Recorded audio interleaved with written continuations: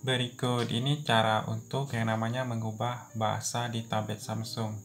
Jadi kalau misalnya tablet Samsung kalian itu pakai bahasa Inggris seperti ini, ingin kalian ubah ke bahasa Indonesia atau bahasa lainnya berikut.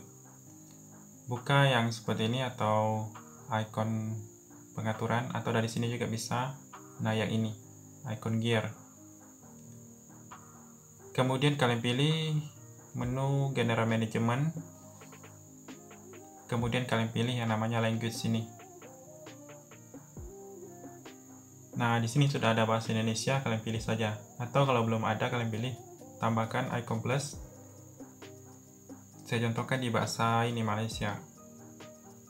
Nah, pilih kalau kita pilih set as default itu akan jadi bahasa Malaysia. Tunggu sebentar. Nah, kalau ada bahasa Indonesia, silakan pilih bahasa Indonesia, pilih guna atau terapkan. Nah, seperti itu caranya.